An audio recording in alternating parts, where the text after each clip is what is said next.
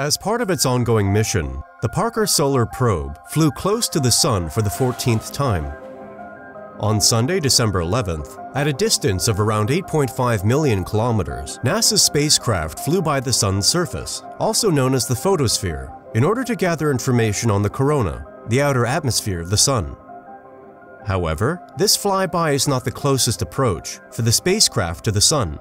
The spacecraft will get closer to the Sun during subsequent flybys, getting as close as 6,115,500 kilometers from our star's surface.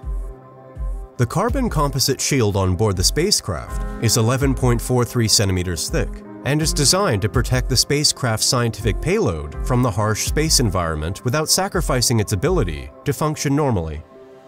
The main goal of the Parker Solar Probe is to study the Sun's outer atmosphere in order to answer one of the most puzzling questions about the star, why is the corona so much hotter than the surface?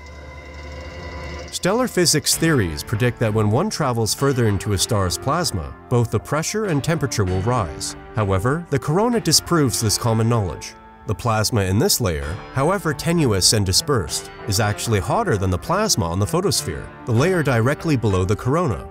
While the photosphere, located just 1600 kilometers below the corona, is 10 million times denser and reaches temperatures of only 10,000 Fahrenheit or 5,000 Celsius, the corona may reach temperatures of 1.1 million Celsius or higher.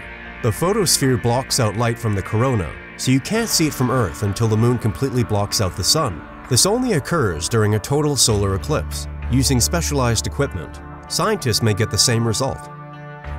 Because of the corona's role in generating the solar wind, a torrent of charged particles that may disrupt communication and power infrastructure on Earth, the Parker Solar Probe must get up close and personal with our star to better comprehend it. Since the Sun is the only nearby star accessible in this manner, researchers may use what they learn to better comprehend stars considerably distant from Earth.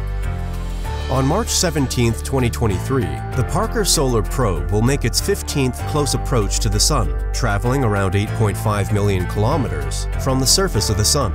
The spacecraft will make a swoop by Venus later this year to get into a more solar-aligned position as the mission's completion year of 2025 approaches.